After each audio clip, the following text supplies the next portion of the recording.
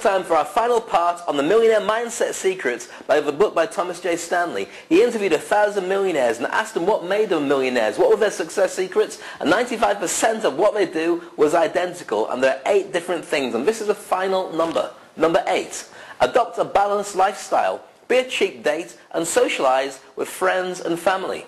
That means apart from when you do your work stuff and maybe you have a big event that everyone can come to, you make sure that's managed financially by the money that's coming in. But when it comes to your own personal life, don't be so expensive. Don't go to all the top restaurants all the time. Don't spend money on flash codes and great stuff all the time. Make sure that you have a balanced lifestyle. Don't buy stuff new when you can buy it second hand. I'm not talking about everything. I'm talking about cars, not underwear. But when it comes to cars and things, there's a big difference between buying it straight from the forecourt and waiting six months so it's almost new and then it's lost 30% of the initial price because you waited and you bought it second hand.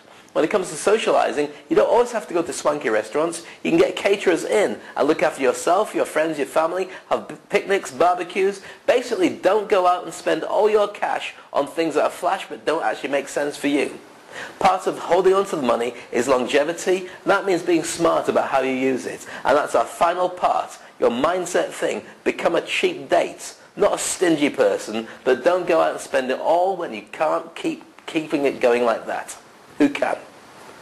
Okay, some people can, but if you can't, then don't do it like that. It's Steve Charger Brand TV.